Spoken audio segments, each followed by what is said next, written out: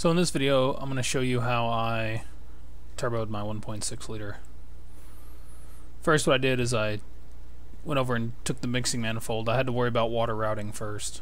So I just took the mixing manifold, I chopped it right there with the bandsaw, beveled it, and took it to a local welding shop or a radiator shop that welded at a 45 degree angle. Next I took a water line, the 6AN push lock barb fitting to 3 8 NPT to 90 degree barb. After that I use the ports on the block. Uh, there's two ports. There's a M12 by 125 to 10 mil bar and then M10 to 1.5 4AN fitting with a restrictor. If you have a journal bearing, make sure you have a restrictor. Here's the oil drain. It's a 10AN. Pretty standard oil drain. I tapped it above the oil line.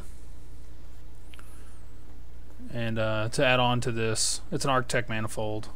And uh, I went with a coolant reroute there's a lot of stuff going on here. Uh, the spacer will have most everything you need, except for the Kia water neck. Unless you buy a full kit from like BEGi or something like that. This was a group buy off Miata Turbo. Uh, don't forget the bar or the bolts either. I used a stud for one, but you don't have to. Then up front, I got a uh, 30 millimeter freeze plug from Napa. Just tapped it in and built a little bracket over the top of it. And that's pretty much it. It's pretty easy uh, once you plan it all out.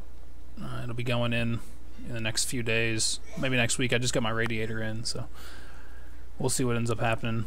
Oh, I also went with some uh, solid aluminum motor mounts, which are probably going to vibrate me to pieces. Uh, they're just going to be just hell to ride on, but whatever. It's a race car. Uh, next video will probably be the car running, hopefully. See y'all then.